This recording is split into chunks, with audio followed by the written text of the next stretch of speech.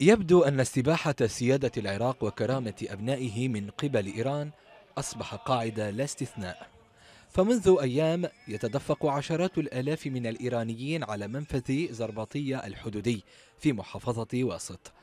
جميعهم يدخلون الأراضي العراقية من دون تأشيرات للمشاركة في أربعينية الإمام الحسين. وكأن العراق أصبح مقاطعة إيرانية. هذه الخطوة قابلها بيان من وزارة الخارجية العراقية.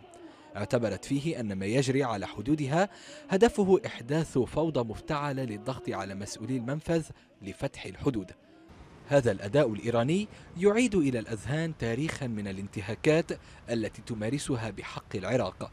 عمره من عمر سقوط نظام الرئيس السابق صدام حسين عام 2003 الانتخابات النيابية العراقية عام 2010 شهدت تدخلا إيرانيا واضحا وفرضت طهران نور المالك رئيسا للحكومة العراقية رغم فوز أياد علاوي في الانتخابات. كما تعمل القيادة الإيرانية جاهدة منذ سنوات على تقسيم النسيج الاجتماعي العراقي وفرز السكان على أسس مذهبية واضحة. الأمر نفسه ينطبق على رئيس الوزراء الحالي حيدر العبادي الذي يواجه كتلة نيابية شيعية ولاؤها إيراني بامتياز. تعمل على تحجيمه وتقييد تحركاته ووضع حائط أمام الحركة الإصلاحية التي يحاول القيام بها.